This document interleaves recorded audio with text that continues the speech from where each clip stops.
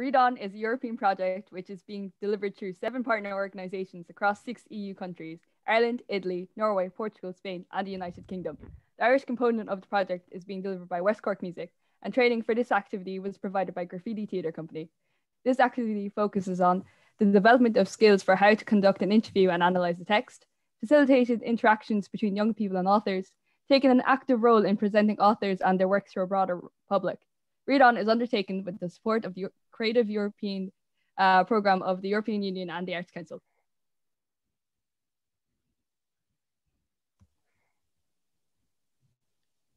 Uh, um, well, just hello and thank you for being here today. We all really appreciate it. Um, uh, so, how are you?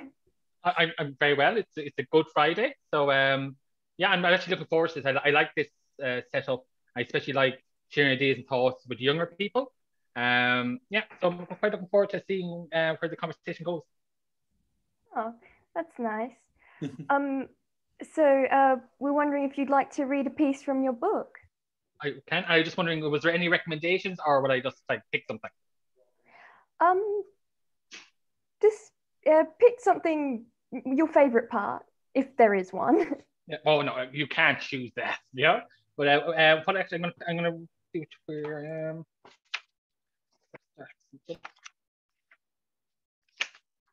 Oh, actually, going to read a bit of um, um, on Bjor Tulamala Spurt, which means the, the women who gather. Um, once there were old women who would travel the land carrying tightly woven willow baskets to gather the fallen bark of crabapple trees, wilting St. John uh, plants and many fresh roots that they could find. They, they plucked the flax that, that grew blazing along the roadside and the wood that snared in the thorns of brambles, hawthorn trees, and firs. They dressed mostly in black, but the edges of their garments were lined in, in red, white, and yellow. Some of the women had additional stripes to the dress of different colours, one for each of their children, living or departed. Their long hair was plaited in firm braids, and about their hips were small, beady pockets, embellished with medals, tokens, and buttons that were tied. Every evening they would boil and dye the wool red the big cast iron pot that rested in the campfire in the heart of the molly in which they lived. During the night, they would continue to spin and weave the cords or render them red for the young children. They would sing songs of hope and melodies of joy in a chorus of sweet voices, that their minds of clear intent, stirring and carding and weaving thoughts and prayers into the cords for the young. At dusk they would gather, at night they would labour, and as dawn came they would rest peacefully in their beds. And this is how it was for a very long time. However, as the years wore on, more and more children were born and welcomed into the world, and the old women who gathered began to struggle to keep the pace of their labours. They worked and worked and worked until the cords uh, of red and the colour of blood tones of deep fire and iron rust. Despite their struggle, they decided they would keep weaving the cords, and they one day weave a cord long enough to encircle the entire world so that no child would be out to care of a loving blessing. Dawn and dusk, night and day blended into one as the work continued, and the old women who gathered forgot to stop to, or eat or rest. Over time, their fingers, once kissed of pink, uh, pink, uh, soft pink from dye, became darker and darker. Some brown from the dust of the ashes, others black from the coals or from the well-stocked fire that kept the boiling pot boiling or dying. Still, the old women who gathered worked on. The molly, once filled with songs and dances of joy, became silent as they focused more and more upon their task. The sweat of the brows began to wash away the red from the cords, and they became a silken grey gossamer. In time, the cord became thinner and as, delicate as delicate as filigree, but, as they, but at their core, they held their strength. Still, the old women gathered on and worked on and on and on. They grew thin and bony as Anita slumbered nor fasted or feasted, and began to shrink. Some of the old women who gathered worked one or two of their own fingers away, while others kept their gathering baskets tightly strapped to their backs, not bothering to take them off between gathering, dyeing, and weaving the cords. Their hearts remained warm and their task remained their focus. In time, however, the women grew smaller and smaller, less of this world and more of another, until one day they looked a little bit more than a bundling of fingers, spinning and weaving with their gathering baskets on their backs, adored with the stripes and shadings that once belonged to the dresses and beady pockets. And they had become the very first spiders. And even now they continue their work, spinning onwards and onwards across the very world. Thank you.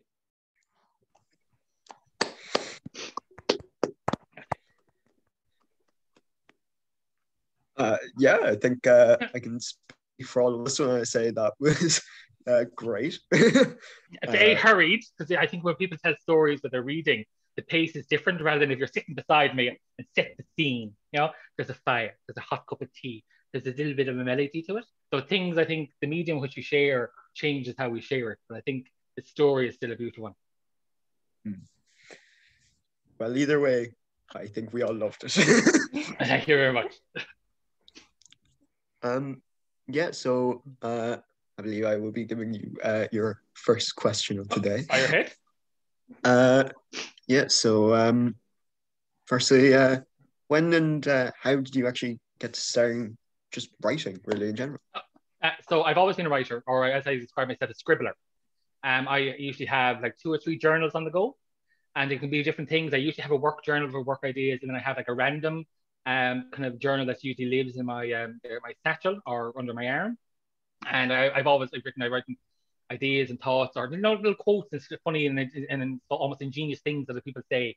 I think is worth catching. So I've always written, and then um, I think many years ago, probably 2007, I started a blog and that kind of and it was it was a, it was a secret blog that I did never shared my name and it was out there in the world and I got to try all these little ideas and thoughts and stories and opinions and arguments and you just throw them out into the world. And that was actually really it was really empowering because I didn't have to expose myself. I could just be there and see how I was reacting and play out new things. Because um, like as always sometimes we forget how fragile our own egos are. So I, I got to play around all these ideas. And I think that there's a, there's a huge difference in people's minds between a writer and an author. And I think everybody is a creator. Everyone writes, and you may not write it with a physical script, you might write ideas and thoughts, might paint it, but everyone does create a story and a narrative. And the only difference that I can really see is that some people get published and some people don't. And that's not really always about value, that's about access and then, you know, into that world of publishing. So I think that um, it, it's something that we all do, we just do in different ways. And I just happen to have a flair uh, for turning the the oral rhythms into something that you can read with. That answers your question, I hope. um, so you, you mentioned publishing it. Was it um uh did you go about getting this book published or did someone approach you? Uh, it, interesting, it was a meeting of mine. So I had looked at um because I've hundreds and hundreds of stories I've written down over the years, and I looked around for someone to publish them. And my one of my main kind of stresses were, especially like, and some of the stories have nothing to do with the, with the community I'm from, but I didn't want to engage with any platform that had previously published narratives or stories or tales um, or about the community that were anyway negative, because I didn't want to be putting potential like additional resources into something that could be quite destructive. And when you look at the modern um, publishing houses here in Ireland, um, and there's not that many, you'd be surprised how many have published things you find questionable now.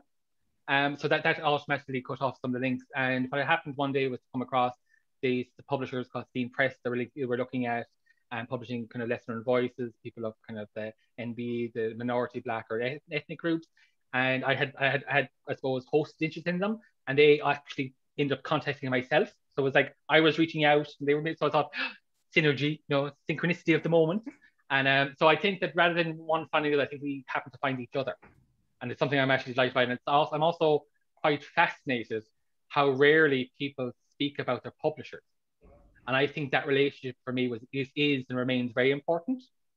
Um, you know that like the idea would be I was coming in with a what I would find to be stories I would hold very sacredly uh, within to myself and to my family, and they're very important. And I was very anxious about people skewing them for different ways. And so and so I had the trust in the relationship of the people saying, no, we actually want to facilitate a voice rather than our version of the voice. And um, so I'm, I'm quite happy. So I know a lot of people find it very difficult um, to find to find I suppose avenues to be published. I didn't, and I know that that in itself is quite a rarity. And from some of my community, which there's a very little handful of people who've ever ever been published, um, I, I consider myself quite blessed. So I mean, with having like the fairly free reign with your uh, publisher, I mean, you must have been able to put in pretty much all the stories that you uh, wanted in the book. I mean, were, but, were there any stories? Oh yeah, there's those stories. Like books, unfortunately, have to be certain sizes. You know, there's a whole there's a whole world of, of book selling in different lives. Going, the the only painful part of the entire process. I, I know some writers slave, and I am not. I, I will not slave over words. I will not argue with myself. I will not torment myself. Writing is a joy. Um, and I love the idea of a process because my process was I, I sat down and recorded the stories. I then like mused them over, I re-record them, then I turn them into, I start writing them down. And the difficulty was books had to be certain sizes. So there was stories that never made it. Um, that we had workshopped on, we thought about it. And and that itself is you don't it's not about sacrificing like which story is better than the other story. It's what story has a feeling it wants to be heard right now. And there's no way I can really catch that. But there were certain stories I would thought I would never really that story doesn't really excite me. It's like it sounds interesting. And then when you hear from other people, for instance, the story I just read about the, the women who gather, I, for many years, until embarrassingly recently, um, thought that story was actually about spiders. And in fact, that story is about the sacrifice of women, the, the labor, how it's overlooked.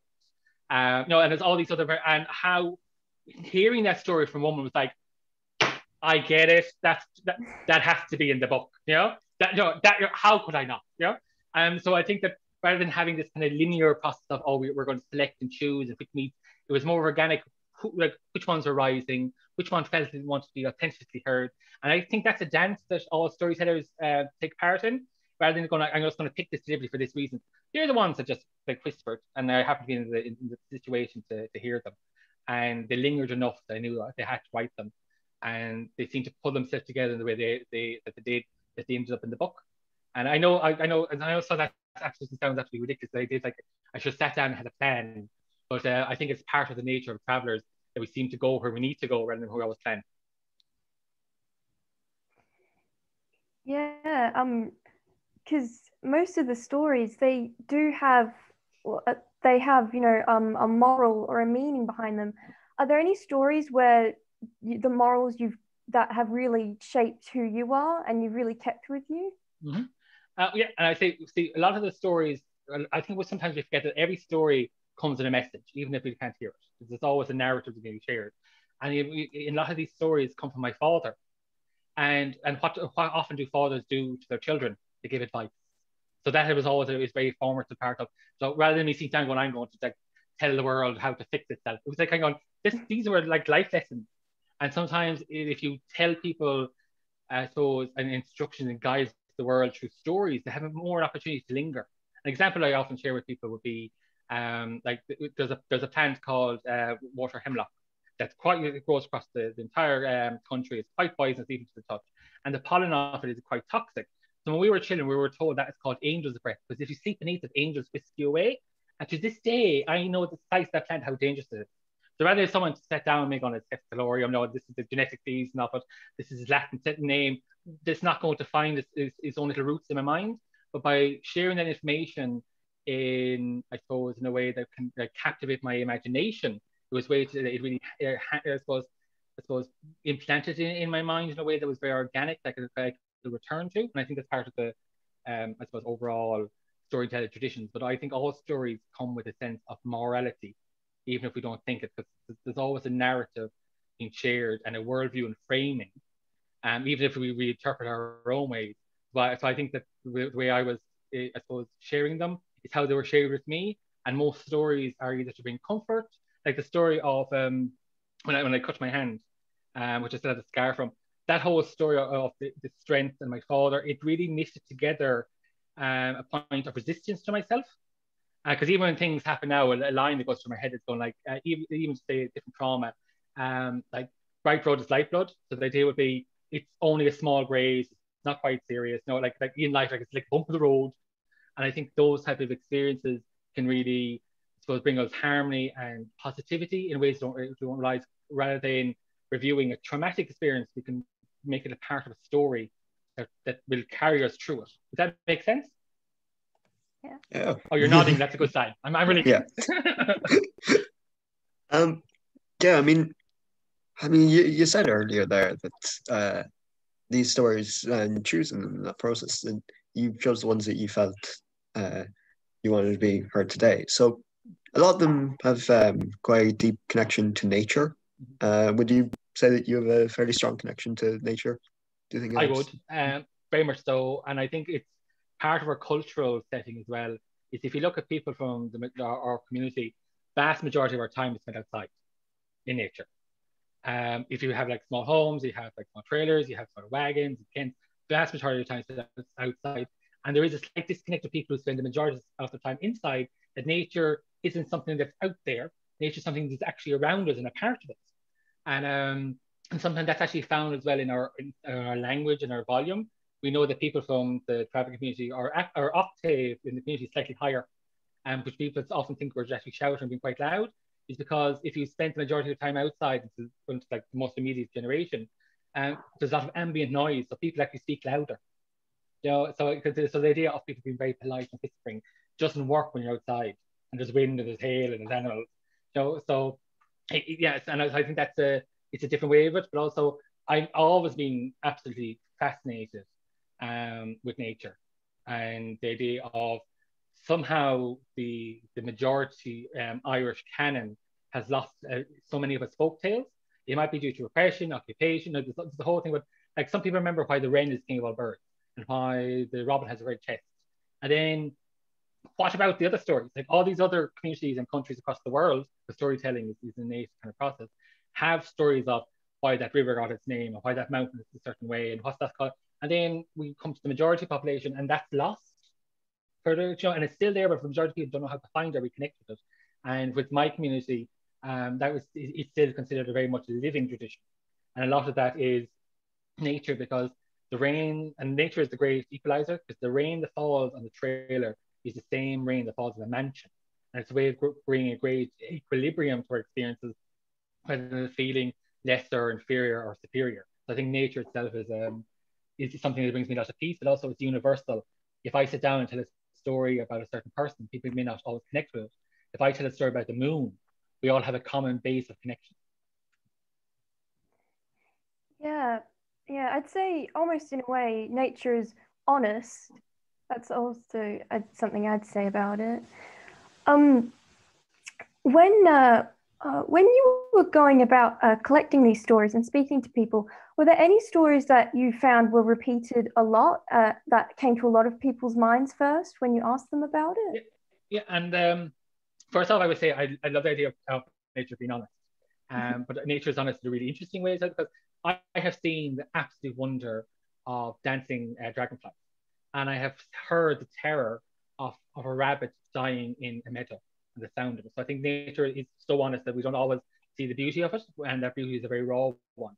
But when it came to tales, there were certain stories I wanted to share, but out of family sensitivities, I couldn't. So I, but I can share it kind of in, the, kind of these settings. But just people didn't really want me to write about it. Um, so there is a record, there's a there is a repeating story tale, um, experience in the Irish kind of chronicles around a man hunting who has a hare, and the the the hare transforms into a woman, and he's left shocked. That's actually an experience that my grandmother's um, brother Jack, who we know affectionately as Jack the Hare, had. He, was hunting with uh, his three brothers in the place called Corofin in Galway, um, he, the, the, there is there are there are certain rules around hunting that you only hunt with one hound, you don't have two, and um, because you need the animal needs to have a fair chance to get away. Otherwise, you know, because you, you, otherwise you need to like, nature needs its own balance. So he was he was quite hungry. He hunted with two hounds, and the hound was caught but got away um, from one of the hounds and went into a bush. Himself and his brothers went into it after him, and he saw a woman in the bush with a cut leg, and he was convinced that that that, that hare had transformed itself into a woman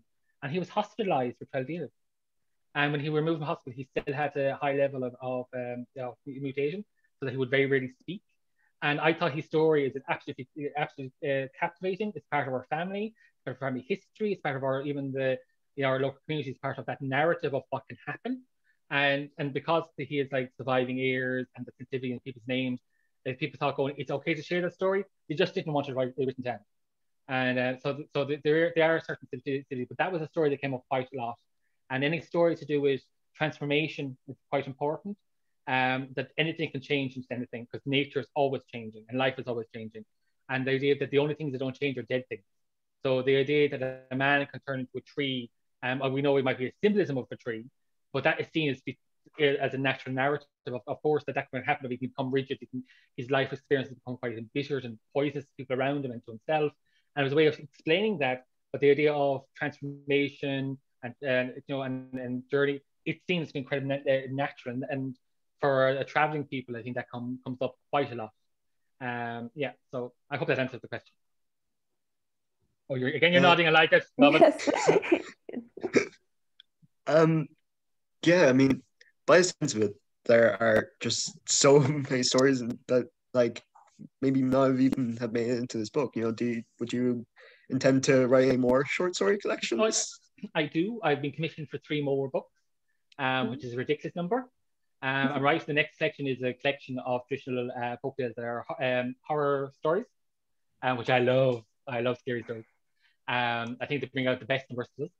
Um, and then there's a yeah, there is an illustrated book um, for young children, and um, where's the third one? Oh, yeah, there's another, there's another collection of stories around nature, the equi- equinox, and the cycles of, of the of the, the land. And because again, I'm fascinated how so many people have disconnected themselves from the, the, movements of the moon, the seasons, the festivals. Like for travelers, our festival is still alive. This festival sound like people go visit the graves before they go trick or treating. Um, like the, the, whole festival of like the Lunasa, the whole the, the, the harvesting, the bringing of grain. So these are festivals that have existed for generations, generations, millennia here in Ireland that we very recently just abandoned. So I, I, hope to encourage it. But also, I think that the book is an invitation to people, no matter what people's heritage is um, or connection, to start discovering their own stories. Like I am absolutely fascinated with, with the idea of going, you have stories in you that you've been here, they just haven't shared.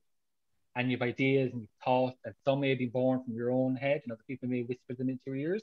And they're valid and they're real and they're important. And you like do you want to be the last person to inherit a story and not to share it, knowing that it came from a place of beauty and it came from a place of bias and it came from a place of worry and concern and joy and fun? And I think we, we have almost a responsibility to ourselves that we need to let our own selves live through those and share them. So I think that that while there's many, many, many stories in the tribal community and many of them I have collected, I think there's other people need to share their stories too because the, the art of storytelling, it is an art because it's a creative engagement and it's something that everybody can engage with and absolutely blossom in if we only give ourselves a chance. Oh, I, I think that's a very nice way to put it. Yeah, it's like everyone has some story, maybe big or small, and I think it's really nice if people are able to share them. Um, uh, when you were um, uh, sorry, this is a bit of a divert, but uh, when you were writing your books, did you have a certain sort of process? Would you write them inside, outside, day, night, or was it random? Oh, so um, I'm quite busy in life. So I have two jobs. Um, I manage an education centre and I'm an advisor in the Seanad. So what I, what I used to do is I try to carve out an hour of my life a day, just an hour. And I think sometimes when people come to write, they go, we're going to write for four hours a day, they're going to do Monday. That sounds incredibly painful. So I decided I was going to give myself an hour and I would sit down and I, I, I would literally record them onto my phone. So I think there's a certain need to keep certain kind of linguistic forms that comes out in the writing because we speak differently than we write. So I wanted to be able to capture as much as I could that kind of the, the language and the flow and the, the pace and tenon of the of the, suppose of myself, but also that's inherited with the community. And that's how it started. But as life is, is quite complicated, so I used get up early sometimes and write. Um, the publishers are amazing. They took to well receiving re-edits at like 2 a.m. in the morning. Like they were like, it's fine. Thank you for keep engaging. And um, yeah, so I think that we always have moments. And you know, actually, I had fun doing is that I might have sat down with my partner then and we might watch a movie and or something on television rather than the record. And ads are amazing because they're like five little minutes. And if you have five minute windows just to write ideas and thoughts, you'll write them because you know it's going to be over soon. It's a really short period of time and there might be three or four in a movie. So you have these like little blocks of creativity. That your mind just kicks and goes, "Share, what's coming up?" And then when you, you release it, you're not building up this pressure or expectation of, "Oh, you need to get this, you need to do that." So if you, I always found if I become a part of the flow, um, like structure is very important to me, but flexibility in that, that structure leads to a lot of creativity. If I was, if I had to, I suppose, rent a room um, Monday to Friday and had so many hours, I'd never go in there because it, it would feel like another job. And I don't think kind of the creative engagement has to be about employment and that kind of mindset. It's something that I love and I like to share. And it's something that I try to keep as spontaneous and fun as possible. Um, so my, I think that always have, always strive for the hour a day, which I do. Because I, I, mean, I'm, I'm, I'm right, I have a need to write. And I also like to write my dreams. I think that I don't understand how people don't record their dreams. Every night you have this wonderful, silly, daft, ingenious world to just engage with and then you just get about it rather than going go back to yourself like you're, you're whispering ideas you're facing terrors of yourself you're looking at your own shadow you're looking at your own hopes So five minutes in the morning, jot down a few ideas. Wonderful. Will I use them? I might. Um, is it is it lost to me that I wrote them? No. So there's no losing it. Each one has a benefit. I do think opening to structure and striving is important, but also having that flexibility to let the authentic voice rise rather than drag it out. I would I would find that, which is not part of best practice. And another best practice that I never watch myself back. So hello, Oein, um, you're being recorded. You're never going to see this. yeah.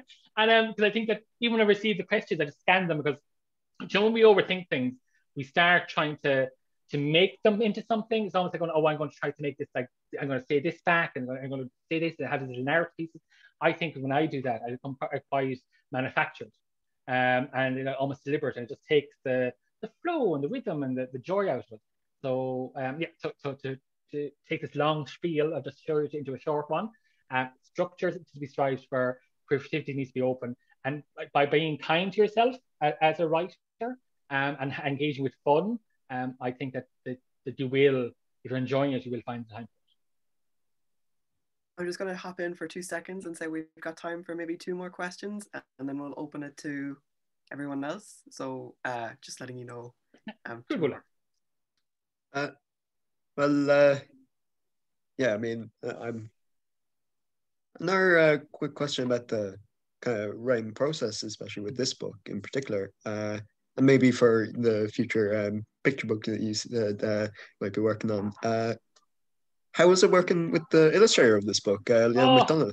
Oh, I love her. I love her. I love her. Love her. And so I met Leanne in 2013, and in our first conversation, at the end of it, she said, "You should write a book." And I said, "Someday I will."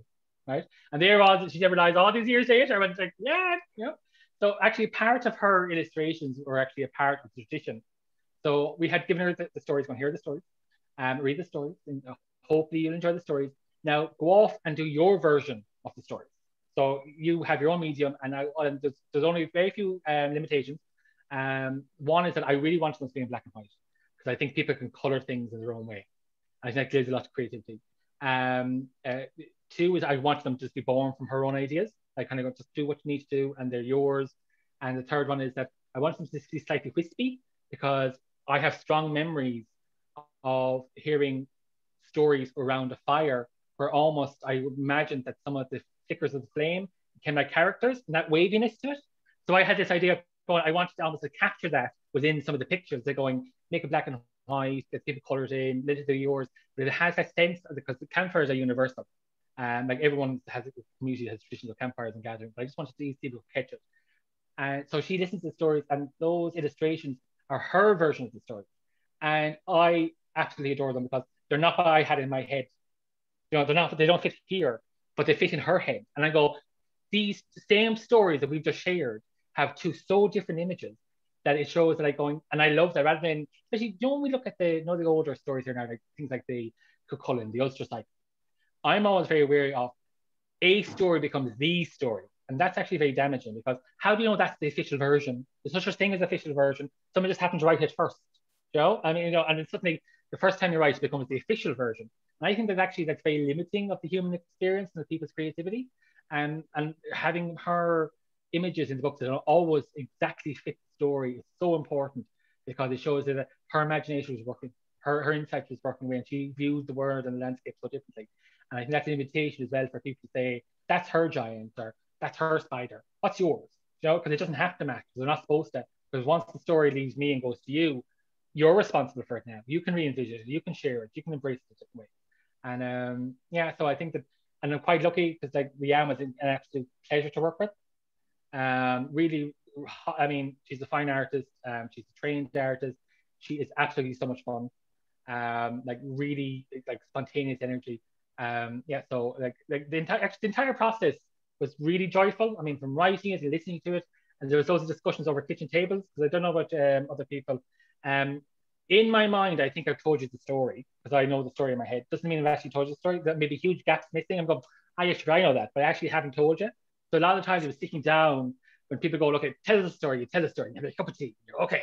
And they go, how did he get to the castle? And you're like, oh yeah, I forgot that part, you know? So it was about just kind of someone teasing it out with you. So they become a part of the story of going, what happened there? Like, yeah, I forgot that part, you know? Um, and other times it's kind of like going, well, I'm going to change it. Because actually, when even like the book is actually in audio form, and one of the people I wanted to um, to be part of was my father, and it was a very distinct voice. Um, and when it came to him reading the script, he could not repeat the same story twice. So we quickly learned on day one that while he's an incredible storyteller, he cannot repeat the same story because the story is changing in his head. He's like, oh, no, this time the giant was beside the ocean because like it fits now, you know, where he was doing it. And um, yeah, so I think that that's a part of the the creative of it, and also the people who were engaged with the entire process. I don't think it was just myself. There's memories of my family, memories of my community, input from people. There was like I wouldn't say negotiation, but there's a nuanced sensitivity of like I was naming people. I was naming the living. I mentioned the dead. Um, there was experiences that people have known of, and you like you need to let people know. Like kind of going like there's a woman who is very dear to me, um, and she's known as Nanny Cack. Now she wasn't my grandmother, but she would be someone who would be a grandmother figure. And like so, you, there's a sense of going, Nanny Cack is in the book. Here's like here's what I'm saying about her. So people weren't taking it under or surprise, um, but also would know that I would be treating the stories in a very open, authentic way. And because because there's there's a, there's there is I suppose there's a there's a proverb that people hear but never finish. We say don't take don't speak ill of the dead, and the, the full version within the traffic community is don't speak ill of the dead, but don't lie about. It. And so so like so you have to you have to portray people as they are. So while you have this creativity, especially people are no longer here to, to defend themselves, kind of going, yeah, that person was a character, aka we did not get on, you know, or like, you know, like, like, or like we never quite saw eye to eye, but never harmed each other, which means couldn't stand him, could, could not stand him, you know, but there's ways to be respectful about it.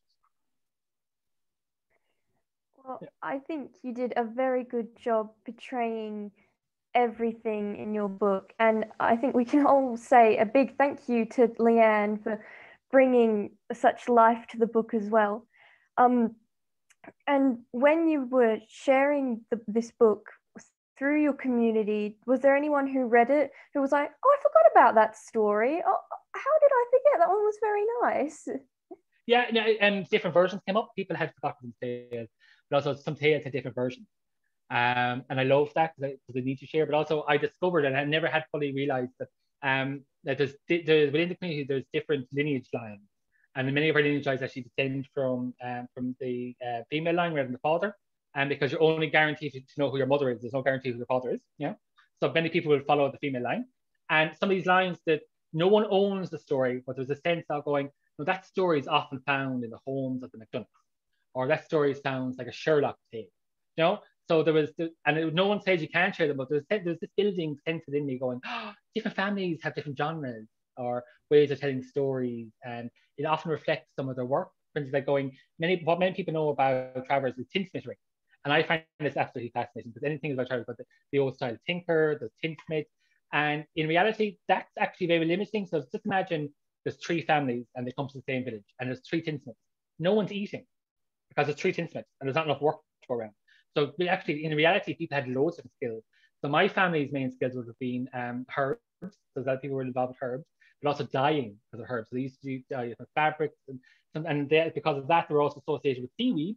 Um, so they used to gather seaweed and different items. So, so there's a lot of our stories about the sea and the land, and then there's some people's families who worked in some of the industries and building out a roadway, a road um, railway.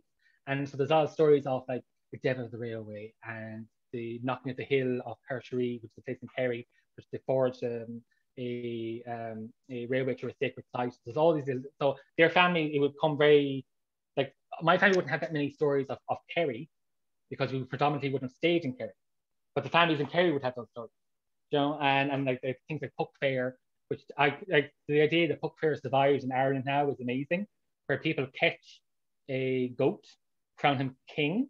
He becomes a king for a week. He's on a big stage in uh, Killorglin in Kerry, and how somehow that survives the scrutiny of a Roman Catholic Church is fascinating for me. You know, it just shows you how alive folk tales, the folk custom, and that kind of sense of connection to older tales are.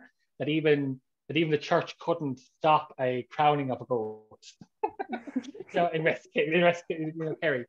And um, yeah, so I think there are there's 50 different lineage, but I think that the book itself has been an invitation for more people to write and describe. And there's some people who aren't writing, but are just recording the tales. Um, because I think the reality is like our stories are very well documented within academia, um, but we just we just don't have access to most of them. Like one of the there was, there was a tale, there's a book called Shorten the Road, which, is, which was in the 70s by a family, and they're still around by the Gmelches, as a husband and wife. And there's, there's many uh, stories from the community there. When I was reviewing those with the, with the surviving descendants of those families, they didn't realize that their family stories were in those books. So there's a lot of process around are people coming and mining our community for tales and then we're not benefiting from them. Um, or the, a lot of the stuff is being recorded and it, it, it, remains outside of our access, which means we don't get to um, create them, we don't get to give them context. Um, so there's a lot of power dynamics there, but that's actually what's happened when you're from a minority community that has a long history of oppression within the community, within our overall society.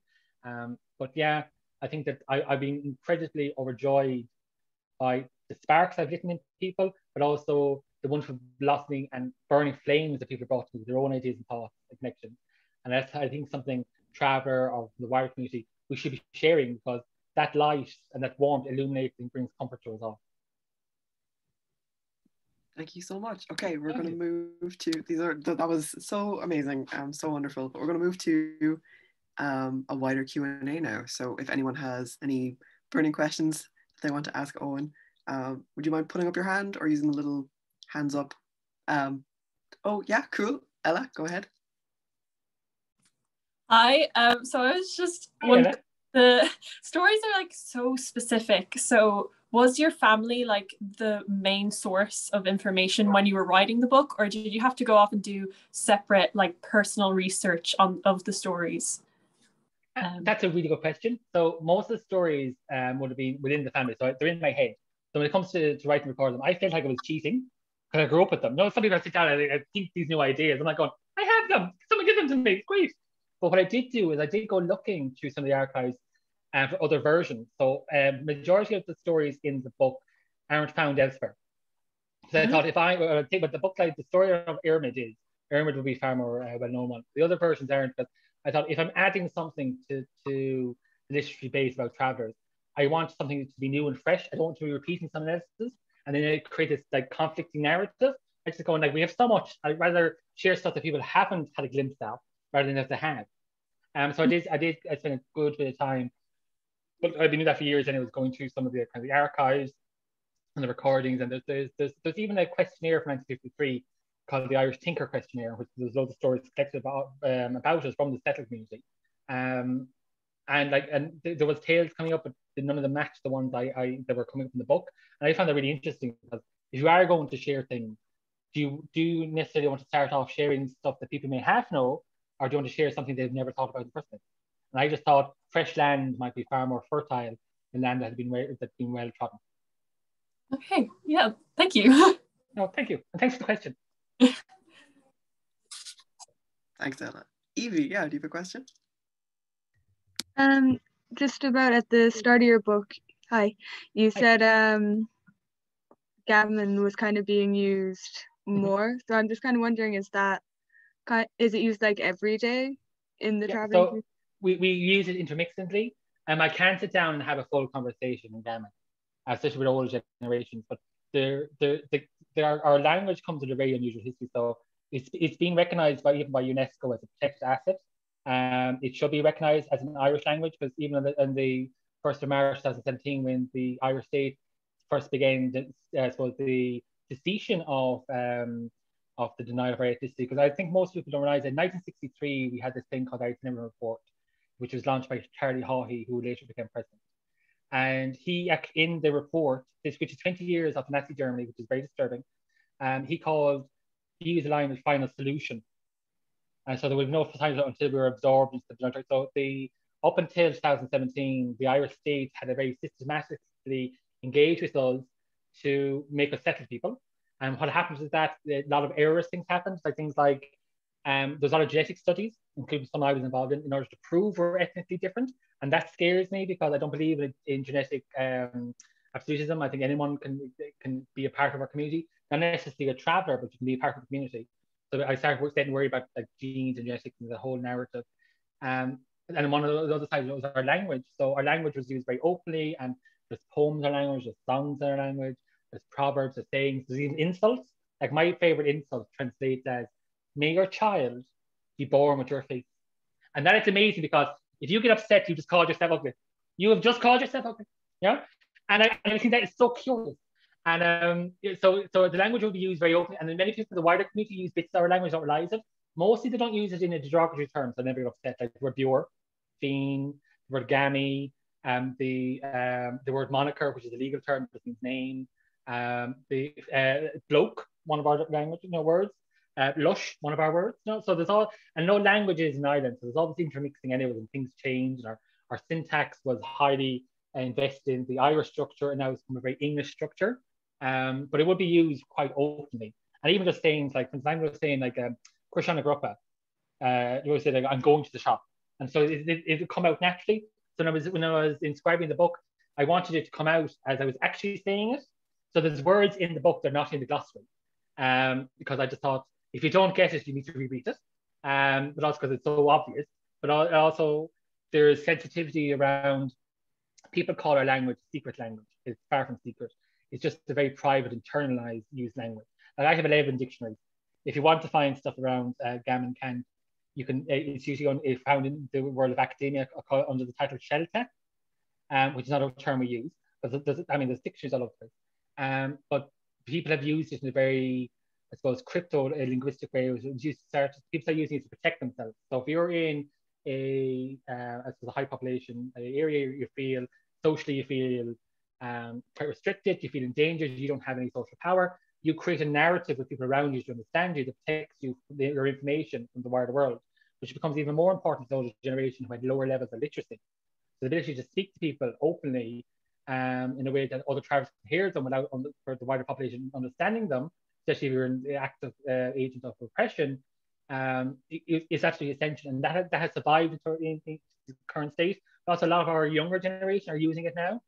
Like statements like Minkara sport, which means travelers rising or empowerment of travelers. So those lang- the languages are starting to come back into, into movement. We even have um, an organization called Mincéirs Whiden, and Mincéirs Whiden means like travelers chatting, but there's no direct conversation to chat in the way travelers chat because our language structure is called interlacing language structure. So um, I, I, always find it very popular that people take turns, and very polite um, within the wider community around conversations. Travelers will often have three conversations at the same time, and it's not considered rude. There's this idea of like, like if you're not really interrupting people, you're just in- interjecting. Because if you're sitting there and we're just staring, now, not you, because obviously it's being recorded, but if I'm just staring at each other and somebody's telling me a story, and I don't say anything back to them, they think I'm being quite rude. So they go, uh-huh, mm-hmm, mm-hmm. and you throw an idea of what happened next, and you're interrupting them all the time because you're an active agent in the conversation within the community. And, um, and that's part of our language as well. Um, but also there's parts of language I find quite sad. Um, like idea of knowing people would say they go out on a Friday night, we say we get in because people don't always have access to social space. Um, you know, so there's, there's different ways our language has turned and been created because of the wider narrative. But I think it's, it's an incredibly beautiful heritage, but it's not just a Traveller heritage or I mean Kerry, it's a part of the wider Irish movement and the wider collective. And when I was very young, um, coming out as a gay man, being out of the Traveller community, there's a language called Polari that was used in England um, among members of the LGBT community. And there's large parts of that language are Gammon. You know, so, and so I was able to chat kind of going, this was evidence for me as a young person say, ah, there's actual proof here that there was other LGBT travelers because there's a language which is very well recorded, Copulary, has evidence in words that we use that come from our community. And I think that kind of interlacing, that connection was a great empowerment to myself, but also great peace. It also shows that the language is a living language rather than what is often described as a dead one. Wow, I hope that's, that um, that's amazing. Thank you. Thank you so much. um, Thomas, I you have your hand raised, but I don't know if you can um, ask your question. Uh, yeah, sorry, I just turned off the video because it was cool. slowing. Okay. I was just wondering, um, would you have a favorite place to write? Some authors like writing in cafes. Oh, would you have like a particular actually, spot? Yeah, um, it, it changes depending on the season. And the reason why is that in winter, I will wrap myself up like a cocoon and be on the sofa with a laptop, which is very bad for your posture. But in the sense of just lying there, like, do you ever see, envision those kind of Victorian women in the, in the portraits, just lying down ready for grapes? just imagine that instead of great you have a laptop. That is just divine because you're in a place of comfort. Um, I find it very difficult to write in public spaces. I spend a lot of time on trains. I go, I go to visit my family and go quite often. I'm currently living in South Dublin, well, pre the whole COVID kind of situation. And um, I, I, I have to say that other noise and distractions I'd be very sensitive to because some people say I'm curious. I don't believe that. I'm nosy. So if I'm on a train and there's a conversation two down from me, I want to listen. I want to hear what's going on. On the phone, happening? Yeah. And uh, so, so if you're in public spaces, I'm not to write. I'm going. Who is she talking to? What's she about? Is it shopping? What's she buying? Yeah. And um, like I think that's that's just natural. But yeah, so public distractions come very easy to me. So it's usually uh, solitary writing, uh, somewhere that I'm comfortable, and um, like I have to be having fun. Like I like again, I, I know some people are very structured and like I often um like Neil Binchy, oh my god, like that woman would literally convert her attic, would spend hours in her attic every day writing. And I'm thinking, fair play to you, but it kind of sounds like prison, you know? Um, but it, that was what she needed to do to get her art out, you know? And that's how she created her art. She gave her kind of the, the fertility of her mind. I'm going, no, no, no, I, I would find that absolutely painful. So uh, often what happens is that things like this, my like journals I bring with me, um, I'm in line for something. I it's like breaks, jot down a few ideas, thoughts, act to something. Um, because I think the, the hardest part of most people find about writing, anyone won't think about writing, is just write. Literally, write it. Go back and edit it later. Like do all the things you want to do it later. Just get it on the paper. Get it done. Because you're sitting there going, I want to say this, and I want to say that, and then this is going to happen. It's not going to happen because you're there going like this rather than like this. So like kind of things like going, if you need to write, just do it. If you want to create, just do it. If you want to record it, if you want to paint it, go do it. At least that you're doing it. Um, yeah, but I think that my, my favorite places I do it is places that I'm comfortable. Because um, I, I, don't think I will ever, and hopefully will never be in a position of agonizing um, over work. That's why I the work that I do do. I've, I've done like done like essays for years and writing. Is that they've always brought me joy. And I know that's not the best, um, I suppose, platform for when you were hoping to I suppose, establish that as a more kind of temporary wider within the genres of writing. But I think it's a necessity for myself to make sure that I have fun. Um, because I think it's, a, it's part of the creative process is to have joy to yourself. And if people are going to engage with your work, they they should know that you have not bled into the paper. You know, that you've actually enjoyed sharing the story with them. Because if you're bleeding into the paper, do you really want to tell that story? Um, yeah, so I think if I'm comfortable and happy, sure, I'd be, I'd be, I'd, I will be left away. So that hence early mornings, late nights, when we're cozy, that's when I'm on fire. Thank you for the Thank question. you so much. Thank you. Uh, Akeno raised your hand.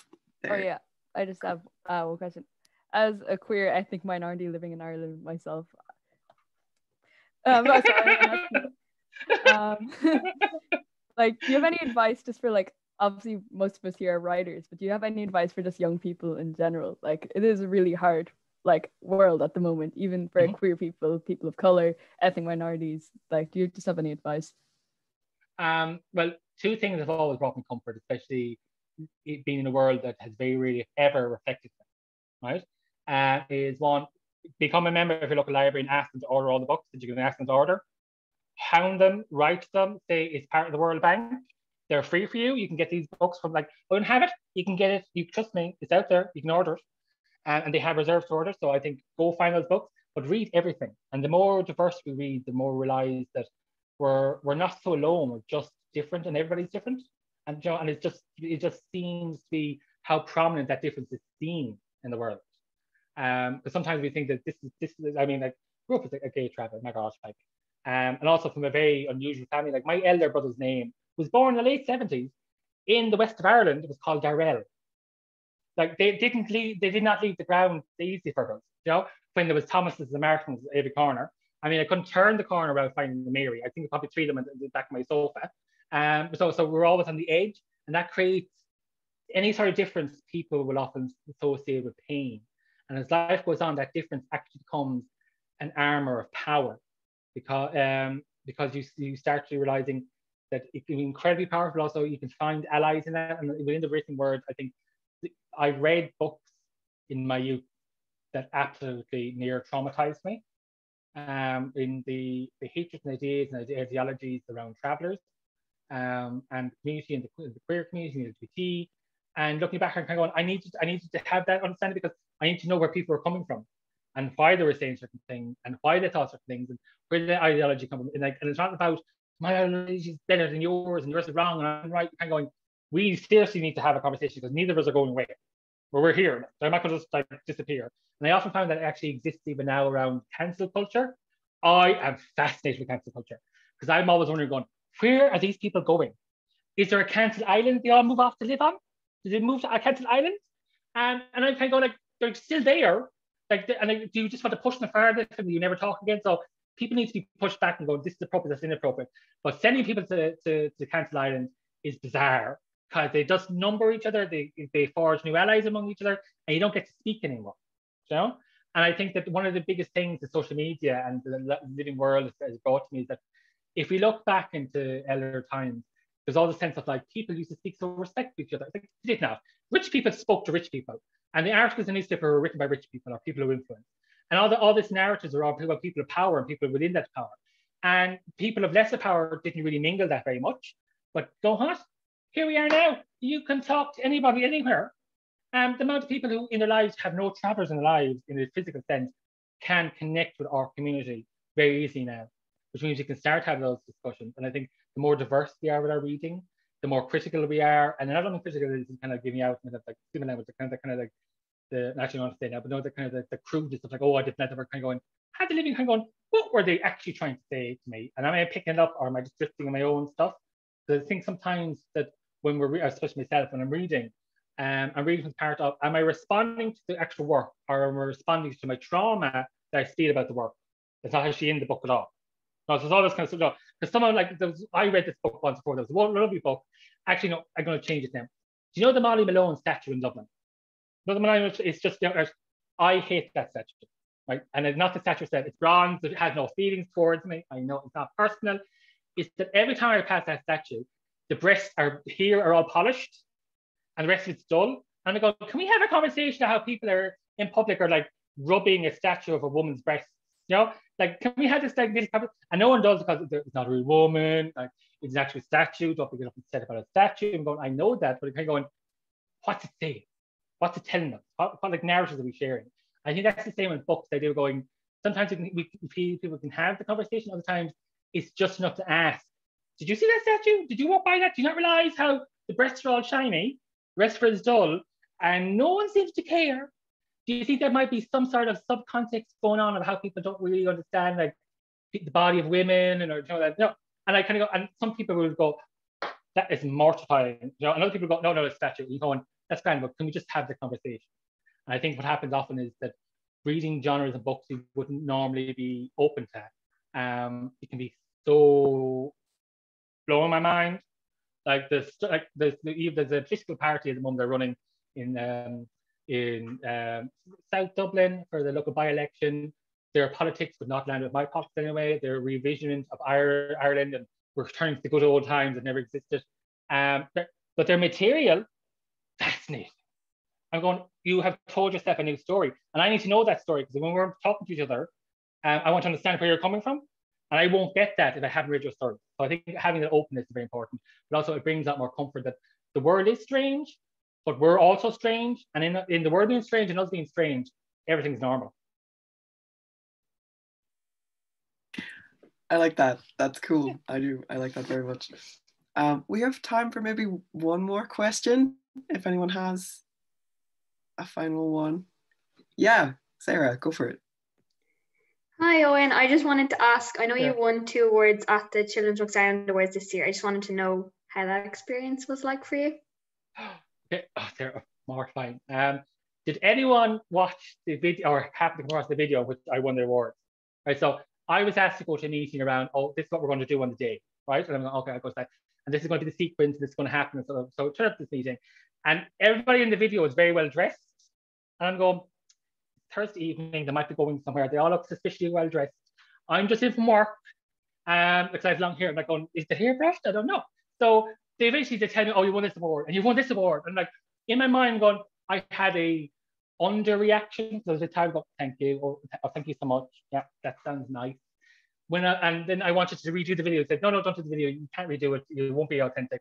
I saw the video. I was jumping. I'm like, you know, so in my mind, I was like, Ooh, if you ask me, I afterwards I said to my partner, Jan, I was like, going, oh, I must have come across so rude. Like I was so under energy. I thank you, and um, looking forward to sharing people. And that was not my, that was not what I was experiencing. But also, like, there's things like, uh, like, a, I thought being nominated was enough. I thought the I'm nominated because when I when I was doing the book, I thought I was making this small little paper bird that was going to snuff into the world, you know, and see where she flew. And I was not expecting her to come home and nest. I just thought, it should go, have, have a good. Um, and then all of a sudden there's all these like connections and like you're reading it in book clubs and you're kind of going, let's talk about it and going, wasn't expecting it. Most certainly wasn't, I thought being nominated was amazing. When I won one award, thought, oh, shocking. Right? One, then won the second award and I go, and then someone told me that I'm the first person in over 15 years to win two awards. I'm like, oh, I met it now, yeah, I met it. And like, I think we, I, I, think sometimes when people win awards, it's like there's a sense of like respond very measured, you know. And you know, I was like, I was like, yeah, and um, yeah, so it's like I don't, I, I, I was trying to find like an emoji GIF or the other day that like, would be described myself. Couldn't, could not find the reaction of, but I thought in my mind of, oh, that's nice and lovely. So the little fireworks are going off on screen that I was totally aware of. Um, yeah, so I was absolutely delighted. the fact that it was, and, and KPMG and the Children's Books um, Ireland have a really interesting process, is that they don't influence the process. It actually is a jury. And so it's actually people who have read the book and enjoyed the book. Because so sometimes they always kind of feel when awards can be very political. You know, like the idea of like, oh no, we need to give this person an award because this year's team is like diversity. Like let's give the person over here an award because you know, and they like no, it was actually children who enjoy and young people who enjoyed reading and young adults who enjoyed reading the book and thought, I find it decent, decent, and I find it decent enough to give it like a tick. So it goes off. And yeah, so it was it was something that that brings me a lot of joy to know that something that I I would have adored as a child growing up myself or young. Because I'm saying child, and I don't like that's only happens with awards because a, a, good story should be universal. And I wrote the book for everybody because they're not actually it's not age limited. Because like anyone of any age, if you're like if you're eight or you're 80, the book should be open to you. And I think now in my mind it's sliding towards younger people because of an award and the fact that you know you bring back. Also, believe it or not, I won a European award on sci-fi that I had no idea why. Um, because you know, but there's a there's a different version of sci-fi than I thought in my head. No, no, no, no, trust me. I was in my mind, sci-fi is like space, techno. I'm going, it ain't men turn into trees. I mean, you know, but apparently there's a, there's a whole different genre sitting there that I can get. Um, yeah, so I, I think even now, um, as you can tell by me rabbiting on, still in wonder of it. I the the trophies are real bronze. I polished them enough. I'm they walking through me almost blinded. Um, yeah, so absolutely delighted to not only to be nominated but to win them, but to win them in a which a way that I feel is very authentic rather than just a gestural way. And I think that that for me kind of me, has a reasons that my work is seen as work, not the work of a traveler. You know, because like I because when I started first, I just wanted to write stuff. I didn't want to write stuff about travelers. Actually, very resistant around it because what do travelers do? Talk about travelers, you know. And then you kind of go like, uh, that, uh, that's just one part to me, the, the whole facet and rainbow of who I am and aspects. Um, but it, it was the book that wanted to be written, and it was the book that wanted to be heard, and it was the one that people ha- happen to find and to enjoy. And I think those combination of those factors, sure, how could you ask for more? So, so thank, thank you very you. much. Thank you so much. Thank lad. That was so wonderful. Thank you for being here with us today. Um, and for yourself, it's a shared conversation. Yeah. yeah, yeah, yeah, that's that is true. That is true. Um, so yeah, if everyone wants to like unmute and just say a big thank you before we cut the cameras. thank you so much. Thank you. Oh, thank you, everybody. Thank you. Thank you. Thank you so much.